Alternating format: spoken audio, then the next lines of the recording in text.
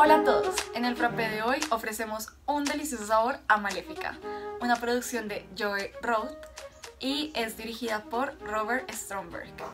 La joven maléfica crece para proteger su pacífico reino de los invasores, pero una terrible traición transforma su corazón puro en una piedra y la convierte en una criatura en busca de venganza.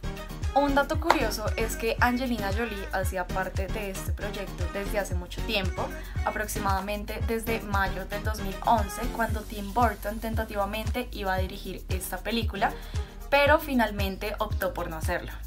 En este espacio los acompañó Valentina Caballero. Los esperamos en una próxima ocasión. Y recuerden, en el Café del Cinéfilo no solo hablamos de estrenos, aquí nos tomamos el cine.